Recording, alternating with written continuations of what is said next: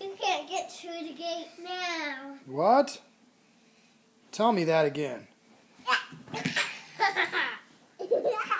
gonna let you through the cage.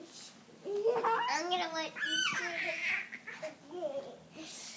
Here you go. Hey, uh, What? what's coming up soon? What?